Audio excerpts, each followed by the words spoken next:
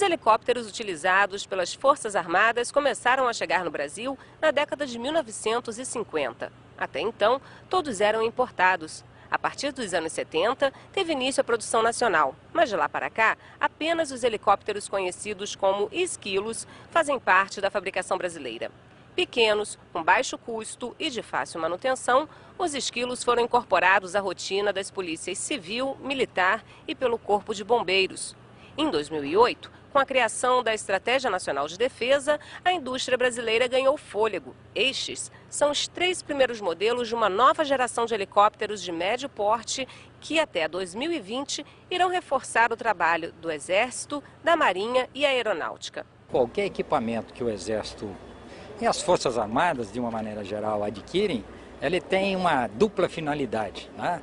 Seja na prestação de socorro, nas calamidades e também em situação de combate. Nós estamos sempre prontos e qualificados, habilitados, e quanto melhor a, aeronave, melhor a sua capacidade, a sua, seus recursos, melhor o apoio que pode ser prestado. De tecnologia franco-alemã, os EC-725 são a última geração da família Super Pullman, uma frota que já faz parte das Forças Armadas brasileiras. Essa aeronave ela tem esse, essa condição de carregar embarcada nela, distribuídos entre pessoal e material, até o peso de 11 toneladas para a decolagem dela. Então a gente pode mesclar em material, pessoal, ou só pessoal, ou só material, de acordo com a necessidade do emprego dela. Chega na sua velocidade de cruzeiro a 230 km por hora, podendo então percorrer aí com a sua autonomia de 3 horas e 40 mais de 600 quilômetros. Além de serem usados em situações de combate e de salvamento,